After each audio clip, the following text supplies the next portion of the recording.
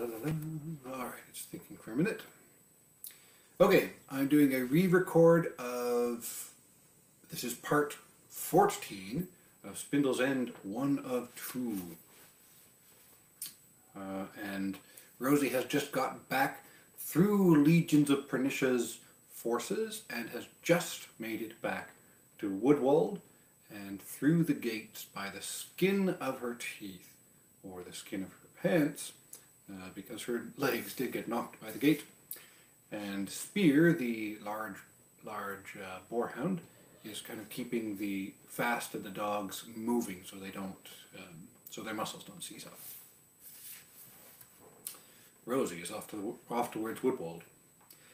Rosie started hurrying off and then thought, back soon? From what? What do I have to hurry toward?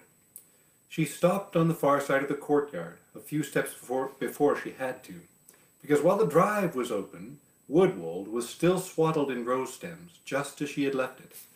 She looked up at the sky again, but drizzly gig grey no longer comforted her. She listened to the silence, knowing what it meant, knowing what she would find when she went back into the great hall.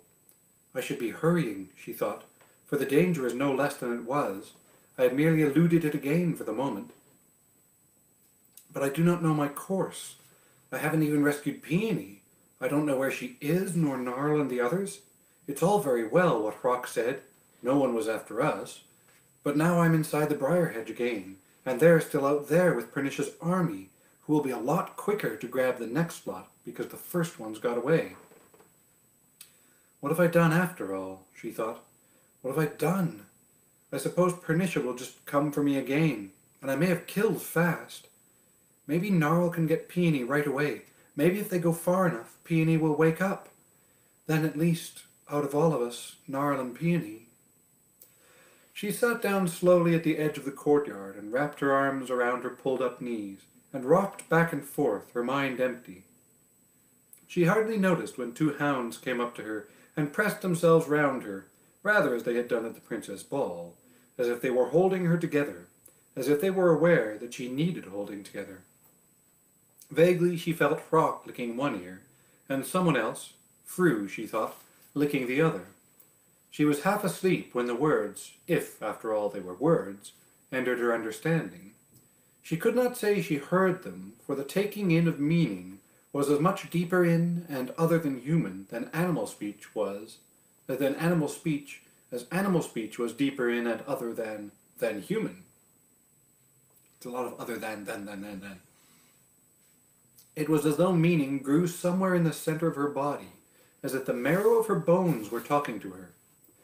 She felt in her body that Pernicia's castle was gone. She felt that there had been a hard place that hurt her. She could almost feel where it had been, low under her, ref, her left ribs, left ribs, that had disintegrated, fallen back to the earth it was made from, that the sun and rain upon it would make good earth of it in time to come, not merely the crumbled remains of the castle as it was now. Lying like a shattered vase upon a floor, still glittering with the paint the maker of it had laid upon it, a tint of dark magic. For now, the important thing was that it was no longer a castle, could no longer be a castle. Its maker would not put it together again.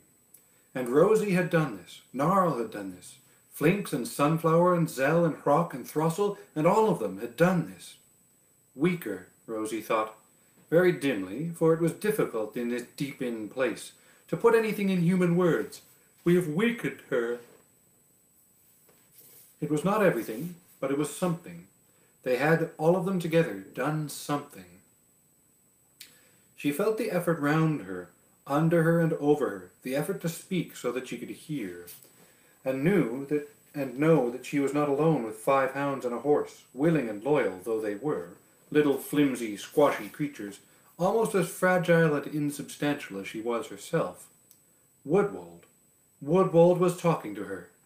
Rosie, princess, I... I am here too. Woodwold was awake. Slowly she uncurled herself, finding it strange that she could do so, that she appeared to be this light, airy, bendable creature. She weighed so little it seemed to her surprising that she did not float away like a leaf. How precarious to stand on feet, to carry what substance one had in this scanty and attenuated manner. She shook herself and took a deep breath. Hrock and Fru came to their feet and looked at her expectantly. She turned back to look toward where the great hall lay behind its embrace of rose stems, and then found her own feet and ordered them to take her there. She went unerringly to a certain snarly mess of rose stems, visibly no different from any other among the great hummocky hills of rose stems beneath which lay Woodwold, and prized them apart with her hands, and they permitted themselves to be prized. She ducked and stepped underneath, and began carefully to part those that now wound across her way, and they too permitted themselves to be moved aside. She caught herself on a thorn once, and a drop of blood fell from the tip of her forefinger, and she held her breath and thought of Peary. Hmm. It's the magic sleep. The magic sleep has got me. She uh, and thought of Peony, and then she put her hands out again to pull at the next layer of rose stems, and saw another drop of blood fall twinklingly from her finger and onto a hunched brown elbow of stem and then she was through the next low, twisted arch, and reaching for the next beyond it. She came after some little time to the old doors of the great hall, and here she stood on tiptoes and brushed at the stems that hung round it, as if they were no more than cobwebs, and they broke and fell aside at her touch, as if they were cobwebs indeed. The sunlight seemed to fall on her more strongly than it had before, and she turned round and saw behind her two hounds, and a great tall arch stretching through the rose hedge. And yet, as she had made her way through it, the parting she had made had only been enough to let her through if she crouched and held her arms close to her sides. And once Fru had yelped, following her, as he misjudged. She took a deep breath and turned back to the doors and flung them open, the old doors that had been opened for the first time in over a century for the princess' one and twentieth birthday, and which had required four men on each to persuade them, and the light rushed in to brighten as much of the floor as it could reach. But most of the great hall was still dark from the gnarled rose stems over its windows. That's the first thing, she thought. She went to the tall window nearest her, scrambled up to stand on its sill, fumbled with the latch, and put her hands through against the rose stems pushing at them, as if they were no more than an odd sort of curtain, but pushing gingerly on account of the thorns. Her fingers still throbbed where she had caught it before. The thick branches creaked and gave, and she pushed a little more vigorously, and they rustled as they parted, and the sunlight came in. And she noticed that it looked like sunlight, that it was no longer grey and gloomy, and when she peered up, the sky was blue and the shreds of cloud that drifted across it were white. And when she looked again at the rose stems, she noticed that they were now covered with leaves, which was why they had rustled, but they had been bare and brown but minutes before. She clambered down from the window-sill and went on to the next, and pushed back the suddenly green rose stems from that window, and the next, and the next, and when she came to the last, she saw flower buds among the leaves, although the princess' birthday was in early spring. Only when there were no more windows to free from their blindfolds did she turn into the hall. It was almost worse, being able to see, because it emphasized how wrong what she saw was. She found Catriona at once, and knelt beside her again, stroking her hair. She was still breathing. She was still asleep. The deep bone-marrow knowledge stirred in her, and she knew that from this sleep, magical and malicious as it was, the sleepers would take no harm, unlike the sleepers found in the broken fastnesses years ago, where the princess might have been. Woodwold could do this much for the little creatures that walked under its roofs. It had watched over other little creatures for hundreds of years, and had understood, understood hurt and harm and the will to do evil. But it did not comprehend sleeping and waking, any more than it comprehended walking and breathing. This was why, Rosie thought, Pernicia's sleep had first confused it, but had failed to hold it. Woodwold had done what it could. Now she must lead the way. Rosie stood up, looking round her wildly. She was taking deep involuntary breaths, and at first she thought she had made more of an effort climbing window frames than she had realized. And then she thought she must, must be fighting off some lingering, lingering odor of the sleep spell. And then she thought she was probably frightened. But as she sucked in the air and expelled it violently, she knew that none of these things were the real reason she stood and panted. What she was, was angry. She couldn't ever remember being so angry, not even when she had knocked down the man who had been beating his horse instead of trying to free the trapped wheel of the cart. Not even when she had found the whip scars, invisible under the sleek hair unless you were looking, on the colt who had been afraid of Narl because he had no beard. Not even when she had first begun to realize what Ikor's message meant to her, to Catriona and Aunt and Barter, and Peony and Roland, and Narl, and Jem and Gilly and Gable and Crantab and Horslinga, and all of the gig, the whole country, not even then. She was bursting with anger. Her skull throbbed with it. Her hands, hanging at her sides, felt hot and swollen with it. Pernicia, she shouted, we have business, you and I. There was a low laugh, and Rosie spun round and saw Pernicia walking in through the open door of the hall. How very sweet of you to be angry with me, she said. Such an invitation, anger. I might have been delayed a little longer else. She was carrying a cane in her left hand, which Rosie had not seen before, and there were several red marks on her cheek, and she had her right hand tucked into her into her long dark-streaked robe with the thorn tears in it, and Rosie's deep knowledge reminded her of the ruined castle, of what the destruction of that castle meant. We have weakened her. I could almost uh, adopt you for that. The last one and twenty years have been difficult for me, too, and I could use a good lieutenant. I've never had a good one. Rosie made a spitting, inarticulate noise. But it has gone too far for that now, has it not? That is almost a pity. One of us must die, you know. The magic will pull your whole dreary gig apart elsewise. I couldn't stop that now, even if I wished to. Although I don't wish to, you know.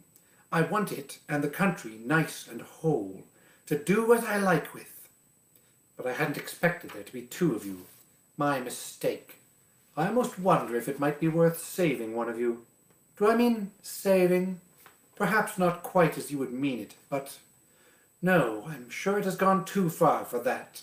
She raised the cane, waving it gently in the air like a fan, and then paused and dropped its tip a hand's breadth or so. Fairies didn't carry wands, except in direst need, as if to aim it like a weapon. Magic can't do everything. Rosie hurled herself upon her, seizing her throat between her hands. As the two of them struck the floor, Pernicia underneath, Woodwold cried out, a shriek of wood and iron and stone, a convulsion like an earthquake, and sleeping bodies slid across the heavy floor, rebounding off each other and off pieces of equally unsettled furniture, and there were muffled, confused cries, as of sleepers caught in a nightmare.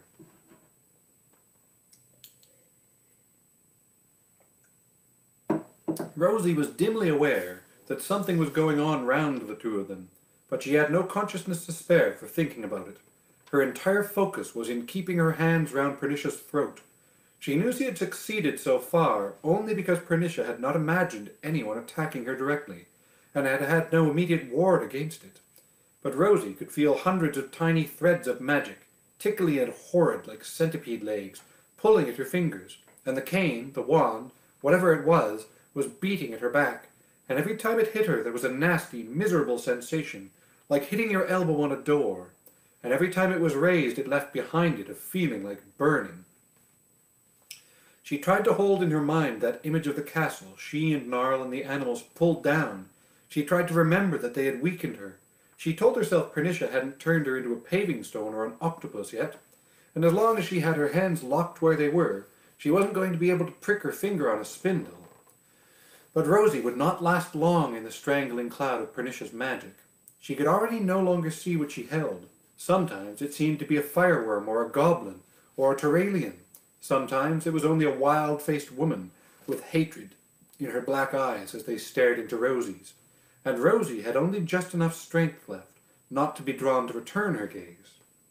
Rosie's back was on fire from the blows, and the numb, banged elbow feeling was creeping slowly down her arms, and she would soon no longer be able to keep her fingers closed, and her hands furthermore seemed to be increasingly weighed down and muffled with something like slug slime and spider silk. She thought she heard, heard voices, but she could not tell if they were animal or human, nor if they were speaking to her or to Pernicia. She thought she saw human figures moving, but her eyes seemed to be obscured, as if sticky webs were being woven across her face as well as round her hands. And these humans, if that was what they were, moved oddly, gropingly, uncertainly, as if they were not sure if they were awake or asleep and dreaming.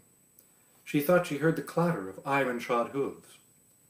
Gorse flung himself through the open door to the great hall, as he had flung himself through the hole in the hedge and the just horsewith bow in the iron bars in the gate that had greeted Narl's great fiend-scattering shout as they had borne down upon that confused and unhappy army.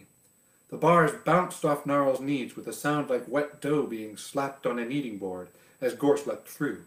But Narl, Peony still in his arms, stayed on his back. Perhaps the gate was growing accustomed to the work, or perhaps it recognized its maker and stretched wider. Narl had followed the hounds the short way, but he had known, or at least guessed, that Rosie and Fast had won their way through because as they neared Woodwold they met more and more unfriendly creatures, but which were less and less inclined to interfere with them, as if their commander had forgotten about them, while greater matters pressed elsewhere. Gorse's iron shoes slipped on the dancing floor, and he scrambled to keep his footing and to prevent himself from stepping on any of the half-awake people who lay there, bewildered and slow from a too heavy sleep, unable to get out of his way. He gave a short, raspy neigh. that in a human would have been, oh no! And he put his head right down to see where he was sliding to, and his hindquarters down for balance. Both he and the humans were further dismayed and disoriented by the fact that the floor itself was moving in abrupt little heaves and eddies, like water striking rocks, or discomfited by wind. One or two people had managed to climb to their feet, seeming to have difficulty deciding whether they needed worse to cling to some support or to clutch at their heads, as if the head seemed riskily loose on the shoulders. Roland hauled himself upright by grasping a table edge, and then grappled his way from chair to chair to fall against Gorse's shoulder. Even half awake, he had recognized the burden that Narl bore before him. Peony was still wholly asleep. She did not stir, while many round her were stirring. Narl slid off the sweating Gorse, and carried her to the nearest table, the floor was now only making tiny tremors, like a horse shaking its skin free of a fly, and laid her down gently. Roland snatched two pillows off two chairs and placed them clumsily, for his hands were still not quite his own, under her head. Narl turned to the two struggling figures he knew to be Rosie and Pernicia, though he could see neither. Pernicia's magic and Rosie's fury wrapped them round, and he could not tell the one from the other, nor much more than make them out as two vaguely human shapes in the fiery turbulence of their battle. Fate and all the gods, he said silently to himself, too frantic to say anything aloud, incapable of coherent words, and sure as well that there was nothing he could say that would be of the slightest use, and so he need not try. Rosie, could you not have waited till there was someone to help you? He knew that whatever was happening, Rosie had little time left. His only wonder was that her rage and despair had protected her this long. Where was Catriona, or Ikor, or Aunt? He looked wildly round, and that was when he noticed that not everyone in the, in the hall was waking. No fairy nor magician was doing so. Not only those of the gig, but those of the royal party as well. Catriona herself lay nearly at his feet. He knelt down beside her. Woodwold's pain and distress had rolled her onto her back, her mouth was a little open, and her face was drawn and unhappy, as if she were half remembering something important left undone. He touched her cheek, sending his thought towards her, wherever she might be, and knew at once he could not rouse her. Whoop! Almost got a little carried away with the water there. Uh...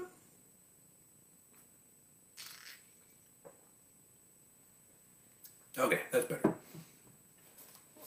No, no, no, no, no.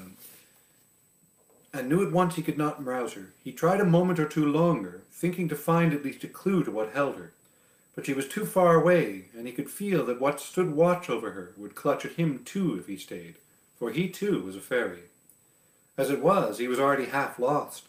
He could feel the great hall round him and the twitching floor under his knees, but he could not take his hand away from Catriona's face, and he could not stand up and turn round. There was a great cold weight on him, bearing him down. With a great effort, he brought his other hand to the iron chain he, wound, he wore round his neck, and seized the little ancient knob of it that he had welded there. And with the touch of it, he could jerk his other hand back with a gasp. It would need some great magic to rescue these sleepers, and all those who could wield it slept. Pernicia had planned well. If she won, there would be that many fewer real and potential rivals or enemies for her to dispose of. If she lost, she still won, because this country would be uninhabitable without its fairies and magicians to negotiate the long, tricky series of truces with its native magics. And three quarters of the best fairies and magicians had been in Lord Prendergast's great hall for the princess' one and twentieth birthday party. He could not think of it now. He would think of it later. Now there was Rosie, gone into battle alone, a battle she must have known she would lose. Did she think he would not follow her, to the ends of the earth if necessary? But then, what could he do against Pernicia? He stood up again, hoping for inspiration, and did not see Zell trotting up behind him. Zell went round Narl's ankles and stood by Catriona, looking into her face.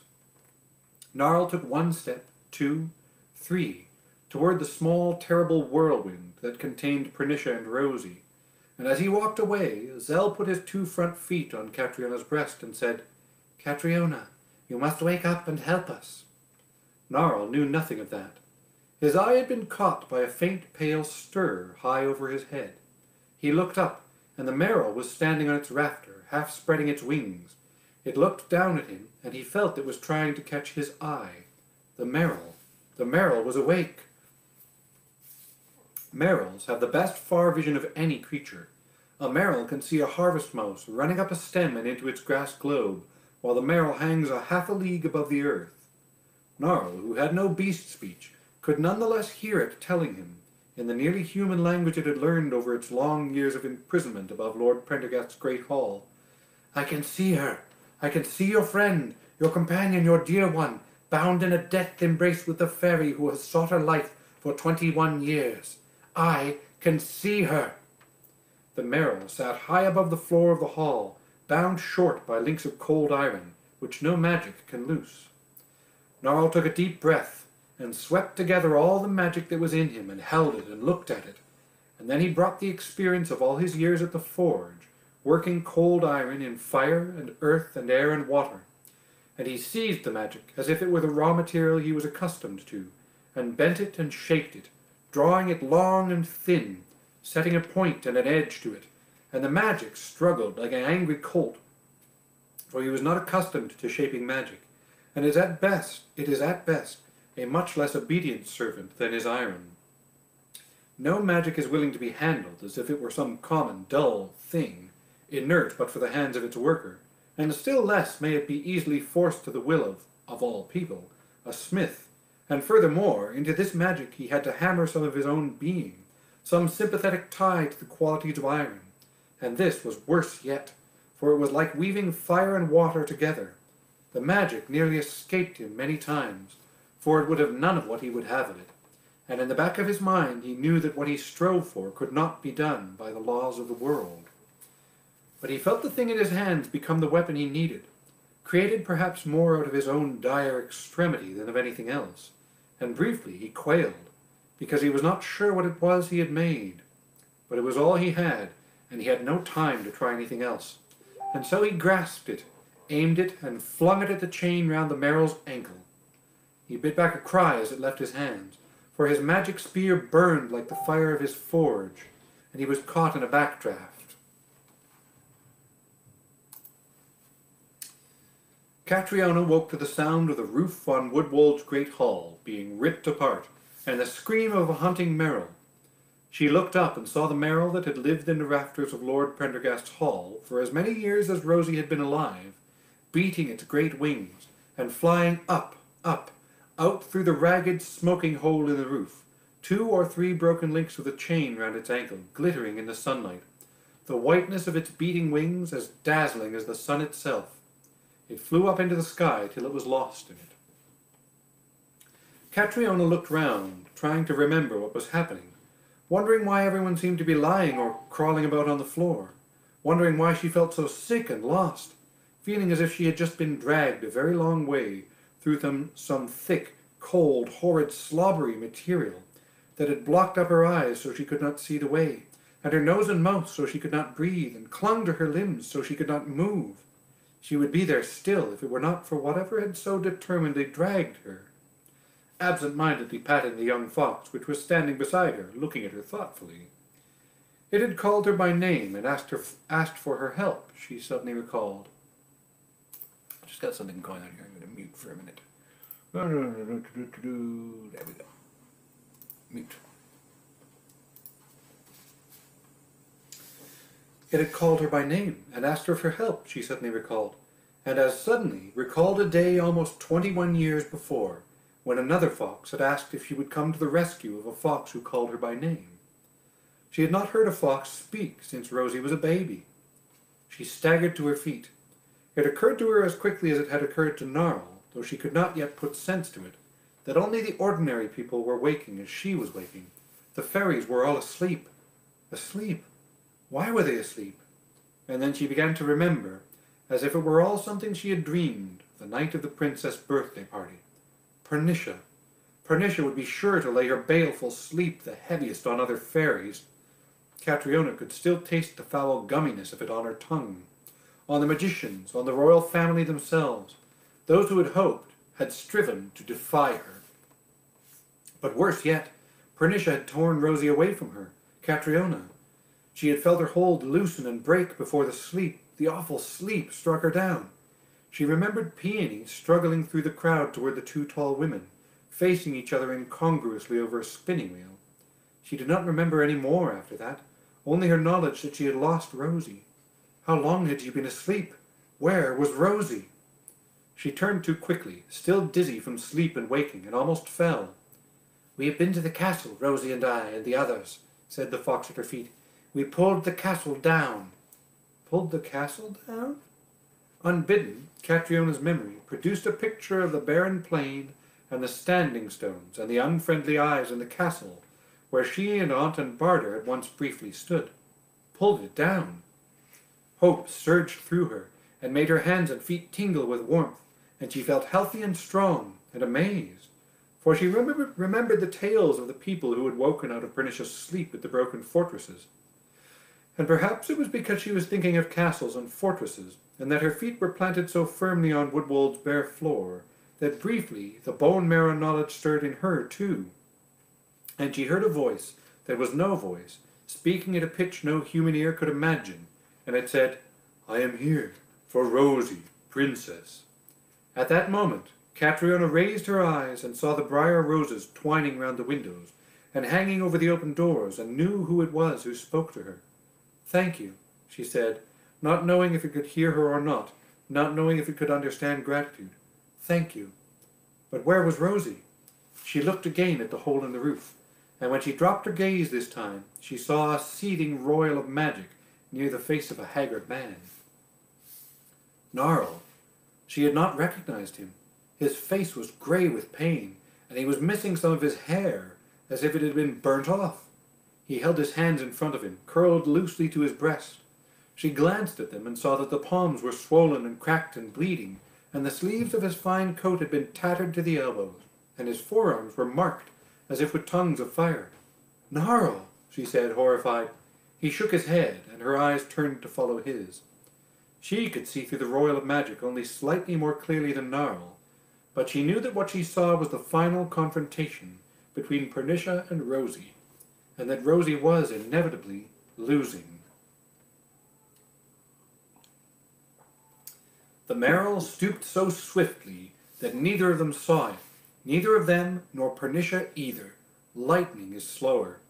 The Merrill's talons seized Pernicia and wrenched her out of Rosie's slackening grasp, as Woodwold opened a gulf in the earth just beneath them. Catriona thought she heard Pernicia scream, but if she spoke any magic, it did not save her, Nor did the Merrills' hold falter. Catriona ran forward and grabbed Rosie's shoulders, pulling her back just in time, muttering a few hasty words to loose Rosie from the snare of the magic that still clutched her, and a few more words begging that Woodwold might leave some floor under the both of them while she did it. As it was, they were pitched backwards, and Narl put out his wounded arms and caught them both, and Catriona and Narl staggered out of reach, hauling Rosie with them. Catriona noticed that two long, snowy pinions had caught in Rosie's hair. Pernicia and the Merrill plunged deep into the earth, and the gulf round them spasmed, spewing raw, dry, mouldy earth and fragments of ancient root and stone, and then it snapped shut, with a sound like hundreds of anvils banging together, and the noise fell upon everyone as hard as a giant's blows, and their breath was knocked out of them. But the floor where the two those two had disappeared rose like a mountain, and avalanches tumbled down its sides, and there was a roaring, echoing noise, like many angry Turanians in a narrow valley. And there was so much fine grit in the air that as the people in the hall opened their mouths to drag their breath in again, after losing it to the recoil of the closing of the pit, their mouths and throats were instantly full of it, and they coughed helplessly, and their lungs ached. Frightened, baffled people pressed themselves back nearer the heart of the house, away from the front of the hall, and the mountain that had risen up there, dragging their still sleeping comrades to what safety they could. One of the walls of the hall cracked and buckled and fell down, and the sounds that the splintering wood made were like human screams. The walls on either side of it tottered and bent toward it, like grief-stricken friend toward a fallen companion, like Catriona and Narl over Rosie. The wreckage shot across the broken floor, dangerous chunks of lath and plaster, thrown skidding up miniature peaks and launching themselves into the air on the far sides though the central mountain was beginning to subside again in showers of chips and clods of earth. Tapestries belled out as if blown by the breath of giants. Several were torn from the wall, and one skimmed round the stricken room like a bird before it fell upon what had been the high table. Half of the table still stood, while the other half was a ragged heap of broken posts and planks and food and servingware. Rosie was only half aware of the destruction round her. Catriona had peeled the worst of Pernicia's binding magic away from her face and hands. But as shattered furniture and bodies slid this way and that across the writhing floor, Rosie was separated from both her and Narl, and, dizzy and nearly helpless, fetched up against something solid. She groped at it, and discovered one of the legs of the high table at the end that was still standing, and slowly worked her way upright. The bowed body next to her was familiar, its arms braced against the tabletop, but it took her a moment to recognize it. Roland, bent protectively over something, and once she knew him, she guessed what, or rather who, that something was. Roland looked up then and recognized her, and in a lull in, in the diminishing sound of destruction, he said hopelessly, Is there anything you can do? Rosie stopped herself from shaking her head. She found an overturned chair with a missing back but four sound legs, righted it, and knelt on it, looking into Peony's face. Her face was thinner and paler than it had been last night. Was it still only last night? And her breathing, as Rosie bent low over her, sounded strained as if a weight pressed on her breast. Roland moved back a little, as if to give Rosie room, or as if he couldn't bear to look any longer, to watch Peony's life ebbing away from a wound neither of them could see.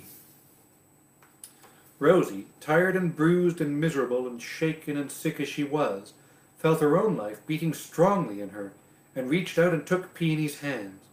She stared at her friend's face for a moment, at the face so like and unlike her own, and then she let go with one hand long enough to reach in Peony's pocket, and find there the spindle end she had made for her, and drew it out, and put it between Peony's hands and clasped her own round them. One of the Merrill's feathers came loose from Rosie's matted hair, and drifted down to lie on Peony's breast.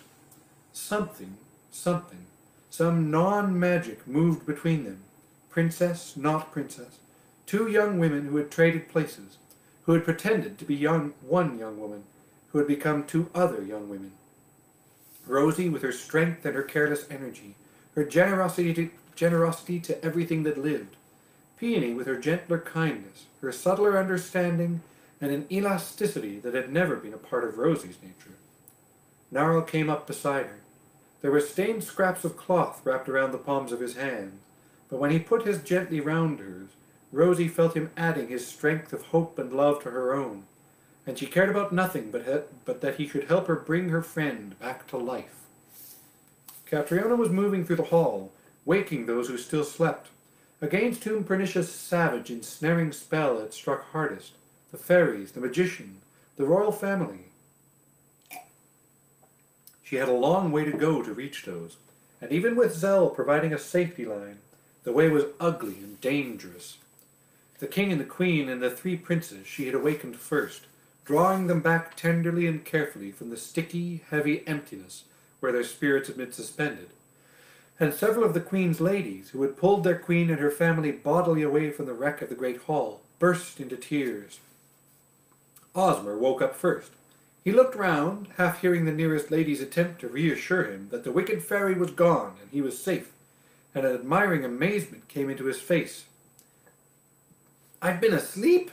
I wish I'd seen that! Catriona discovered that she could still smile and moved on. She found Barter, who was easily awakened, and Ant, who was not, and Ikor, who was harder yet, and even after his eyes were open, Catriona could see the ends of nightmares in them, gleaming like toads' backs. She turned then to the other gig fairies, and when she had recalled them, Aunt and Ikor had recovered enough to help her awaken the other royal fairies and magicians. It took all three of them to awaken Sigil, whom they might not have found at all, but that they were sure she had, after all, attended to the ball. She had lain under a fallen down tapestry, and she was so small and drab, even in her ball clothes, that she looked like a crumpled fold of vague foresty background to the bright woven scene of ladies gathering flowers. She opened her eyes with her head on Ikor's arms, facing a window, and the first thing she saw was briar roses. Dear Woodwold, she said. Lastly, and as gently as they could, they woke Lord and Lady Prendergast and their sons and daughters, who woke to find the great hall, the oldest part of their ancient and beloved house, destroyed, and for a little while the thought of a wicked fairy defeated and their country and future monarch saved seemed too small a victory to them. Catriona wearily moved back toward the table where Peony lay, where Roland stood and Narl and Rosie crouched over their joined hands. The stallion Gorse stood behind Narl, and several dogs were scattered round the table's end. One of them, her name Sunflower, swam into Catriona's mind, had her feet up on the edge of the table, where she could just raise her chin high enough to stare into Rosie's face. Gorse was as bedraggled as a wild moor horse, and had strange marks on his flanks, as if he had squeezed through a space too narrow for him. The dog's chest were all matted with foam. Catriona guessed that this was part of the story of how they had pulled down Pernicia's Castle, and wondered what else she had missed while she was asleep. But those stories could wait. Catriona was exhausted. Never attack a spell head on, Aunt had said years ago. You need to sniff out where the weak places are. All spells have them. It's just a matter of finding them, and of course, being able to use them. Catriona could not have found nor used the weak spot of Pernicia's spell, not alone. She looked down at a small, pointed, red-furred face looking up at her. I am still here, Sal said. I am still here. They were all still here, and they were all still alive. She stood at the end of the table, looking down at the top of Peony's head, at Rosie's face fierce with concentration, and Narl looked up at her and said, half shouted, Cat, wake up! Don't you want to keep her? Catriona did not at first know what he meant, but she responded to the desperation in his voice, and saw that Peony, now alone in all the hall, remained asleep, and obediently she put her hands out and laid them as gently as she could on the burned backs of Narl's hands. But with that contact, she realized the intricate interlacings of energies at play beneath her palms, discovered too the secret Narl had been hiding in his forge for so many years, and suddenly understood what Narl had meant. Her fingers bit down against Narl's skin, and she put every mote of magic she had left into her into the work, for Pernicia was gone, and she could, lo- u- she could use her last strength as she chose. Aunt looked up from where she was rubbing the temples of a young fairy with a headache. catching a whiff or a whisper of what was happening among the remains of the high table. Ikor, in one of the anterooms, strapping the sprained ankle of one of the grandest of the royal magicians, leapt to his feet and ran back to the hall shouting, No, no, you cannot, no! Rosie leaned forward round the globe of hands and kissed Peony on the lips. Everyone's hands collapsed inwards as the spindle end shattered. Rosie felt an eerie, sucking sensation against her palms for a moment, as she involuntarily fell forward onto Peony's breast, and a queer, fluttery, disorienting sensation in her own breast and throat, as if something were being pulled out of her and drawn into her friend. Narl and Catriona both took a sudden, hasty step backward. Rosie sat up, spitting Peony's hair out of her mouth, as Peony said, Oof, Rosie, you weigh a ton. It was at this moment that the cook came howling up from the kitchen, saying that Lady Prendergast's terrier and two mice were lying asleep in the centre of the kitchen table, with a single long black hair twisted round them in a circle, that nothing could pass that boundary here, and would some fairy please come and get these animals off her table. Chapter 23 Woodwold was not the only house that had suffered in the final confrontation. Let's see. I'm just double checking here how far I have to go. I'm almost done. Where was I? Oh, right, here, 349. Woodwold was not the only house that had suffered in the final confrontation between Pernicia and the princess and the princess allies. All over the gig there was wreckage, as if by tiny, violent, very local storms, or duels among goblins, or a fireworm or two. There was a great deal of work to be done to set all to rights, but no one's village had been flattened, and friends and family gave housing and help to those who had been unlucky, and the crops and the animals were largely unhurt. Although the latter in some cases had strayed so far, some humans suspected they had been ill sent or driven, especially when, after their initial journeys, hitherto stolid beasts showed a tiresome new urge to wander. And of course, as soon as the news of Pernicia's final defeat went out, and everyone shook themselves and stared at each other and said, How could we ever have imagined that Pernicia had just gone away? That was a very powerful spell. And everyone was a little annoyed, especially because no one could remember the end of the ball and the appearance of Pernicia, which must have been one of the best stories, if anyone could tell it. But then it was king's business and magic, and all's well that ends well. Everyone in the gig was a hero. And this pleasant knowledge helped the work to go a little quicker, as did the amount of volunteer labour that poured in from all over the rest of the country to hear the tales of heroism first hand, in return for some digging and dragging and sawing and hammering and heaving and putting together. The volunteer labour and free goods came even more thickly when the announcement of the wedding went out. Prince Roland Jocelyn Hereward and Princess Casta Albinia Allegra Dove Minerva Fidelia Aletta Blythe Domnia Delicia Aurelia Grace Isabella Griselda Gwyneth Pearl Ruby Lily Iris Briar Rose's marriage was celebrated only six weeks after the death of Pernicia and the Merrill, beneath the ruins of Woodwold's great hall. The princess insisted that she wished to be wed in the gig from Woodwold, and the Prendergasts, whatever damage had been done to their family's ancient home, were incapable of saying no to her about anything whatsoever, aside from the fact that it was a tremendous honor. And, of course, as a result of the prospect of the princess' wedding, every royal fairy and magician put their minds to the work of restoring the Prendergasts' great hall, which was the only possible location in the entire gig for such an occasion as a royal wedding, so that it nearly put itself back together and was, furthermore, now glistening with powerful new spells and good wishes, fully sound and solid and complete by the day. The new Great Hall, indeed, was so lofty and beautiful that the king's bishop was almost reconciled to having to hold the most important wedding of this generation in the barbarian backwater gig instead of at his, no at his own noble cathedral in the royal city. Rosie and Narl were the bride and groom's first friends, although the queues of attendants behind both of them were several dozen strong, and there was a certain amount of sniffing and eyebrow raising that a horseleech and a smith, however dear the friendship, should come at the heads of the columns. Both of them felt extremely silly in the royal get-ups they were expected to wear, but both felt so complacent about their part in what had occurred, with this wedding as its culminating feat, that they almost forgot to mind. Since Rosie had begun to let her hair grow so that she could braid the Merrill's feathers into it, at least the ladies assigned to her hairdressing for the wedding, unlike those who had tried to dress it for the princess ball, had had a little to work with.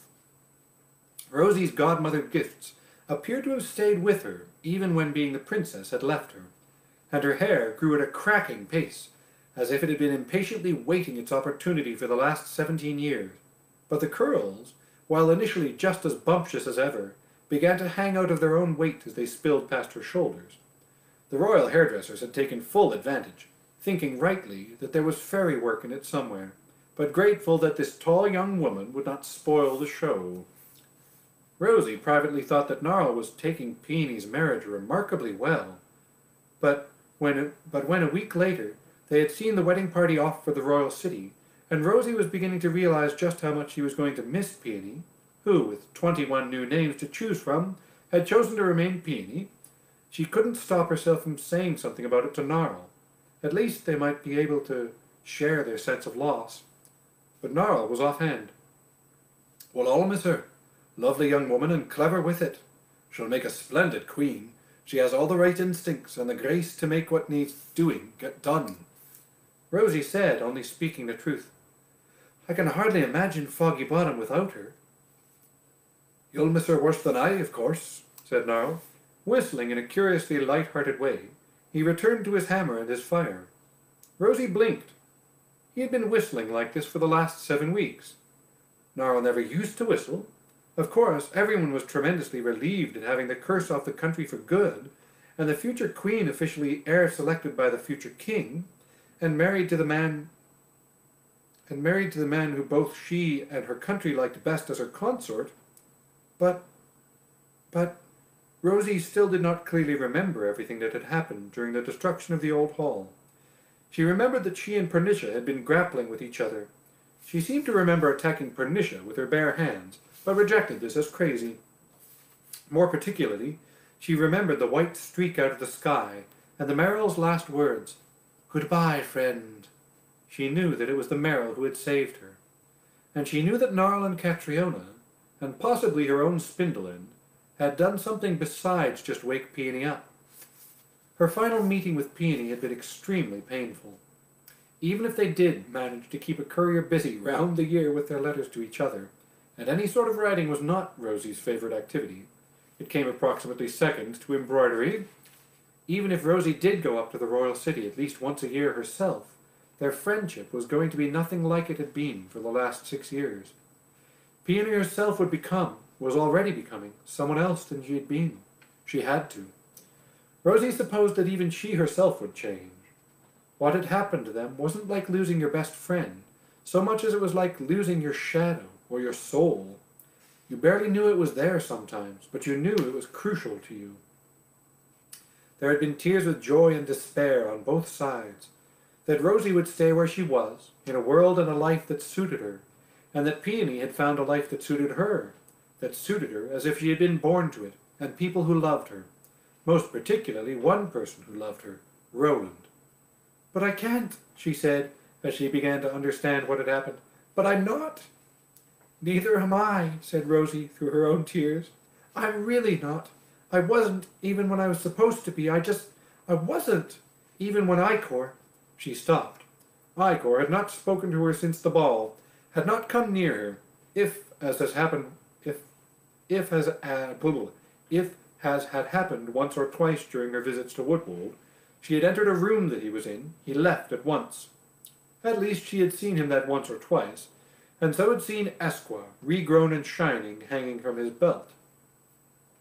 Peony looked at Croc's head on her friend's knee, and Sunflower's head on her foot, and at Fwab singing the chaffinch spring song on the windowsill, and the cook's cat just happening by the doorway, where they were sitting in one of the little anterooms off the great hall, the latter alive with the hum and bang of feverishly working magic augmented carpentry, just happening to sit down there for a wash, her back to the embarrassing tedium of human tears. The animals know. The animals will always know the truth of it. The animals knew. They still called Rosie Princess, and she had heard the tale that had gone round after the wreck of the hall and what came of it. Pernicia is dead. Rosie and Oroshral, which was how Rosie learned for the first time that the Merrill had a name, killed her. Rosie is staying here. Peony is going back to the city to be the princess instead. Yes, said Rosie, but they're not telling, except each other, and they'll stop that too soon enough. They'll close it down. Zell, who was so puffed up with importance for having become Catriona's familiar there was almost no bearing him, is already trying to, because he knows Cat's worried. He hasn't yet learned that Cat, Cat is always worried, she added, less easily, and Peony, it that I talked to animals should never have happened. That it did happen may have been what made the rest happen, or made it possible to happen, that Pernicia's curse didn't work, that we found a way out, that I'm, your, we're still here. Peony took Rosie's hands in hers and squeezed them painfully. You're sure? You're sure? It doesn't matter if I'm sure or not, it's done, said Rosie. But seeing the look on her friend's face, she added, I was there, remember? If I hadn't been sure, it couldn't have happened. Whatever did happen, she amended, remembering Narl's and Catriona's hands on hers, and the queer feeling that she had gone somehow invisible or insubstantial, and that the spindle end, just before it imploded into emptiness, had been the only real thing about either herself or Peony.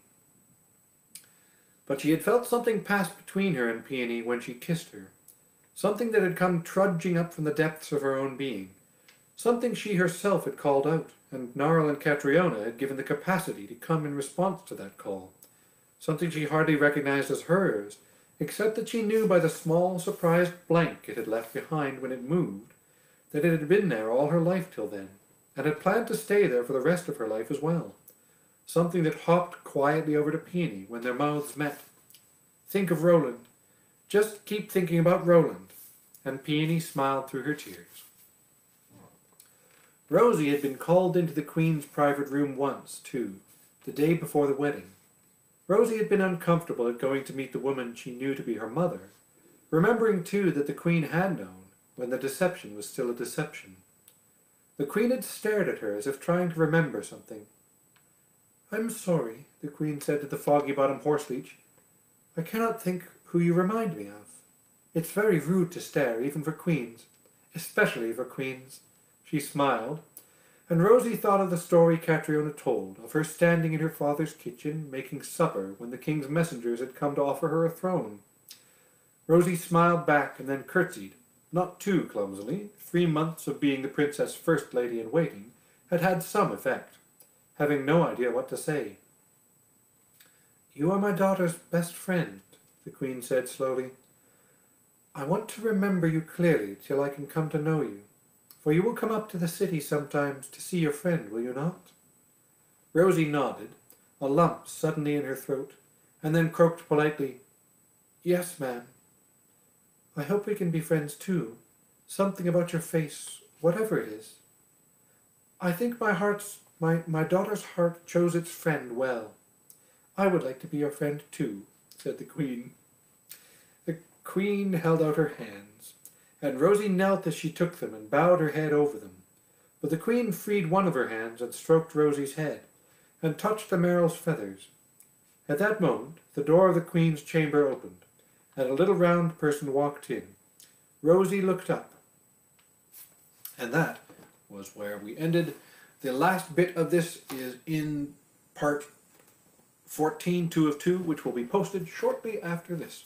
Thank you for tuning in to Spindle's End. Enjoy!